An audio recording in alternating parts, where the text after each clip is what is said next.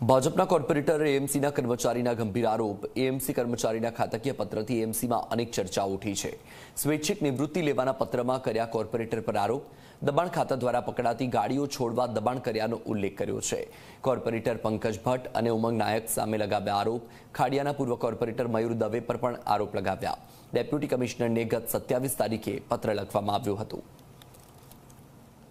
ભાઈ પુરુષોત્તમભાઈ જે સોલંકી છે એ ભાઈને મેં કોઈ દિવસ જોયા નથી, મેં કોઈ દિવસ એમને ફોન કર્યો નથી, મારા ફોનમાં એમનો ફોન નથી અને જો એ સાબિત કરે અને મારો નંબર બી કદાચ એમને ફોનમાંથી નીકળે ને, તો હું જાહેર જીવન છોડી દઈશ. આ ખબર કયા કારણસર હવે એમણે મારું નામ લખાવ્યું છે મને ખબર નથી, પણ હું એમને જાણતો નથી મેં આજ સુધી એમને આવી રીતે આ રીતનો કોઈ દિવસ ફોન બી મેં એમને કર્યો નથી અને રૂબરૂ મળ્યો બી નથી એમને. વધુ માહિતી મેળવીએ સંવાદદાતા અર્પણ કાયદાવાલા પાસેથી. અર્પણ એએમસીના કર્મચારીએ ભાજપના કોર્પોરેટર પર ગંભીર આરોપ લગાવ્યા છે. શું છે મામલો?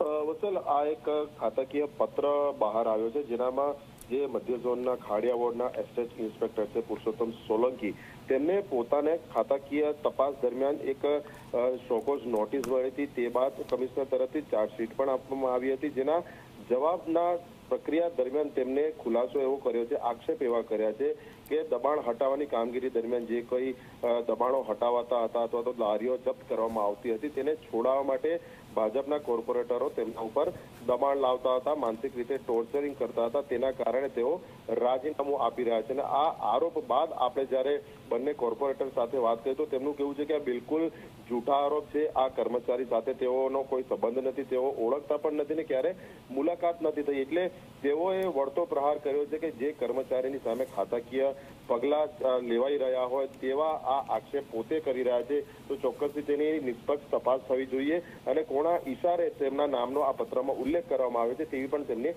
માંગ કરી છે. બિલકુલ અર્પણ માહિતી સાથે જોડાવા બદલ આભાર.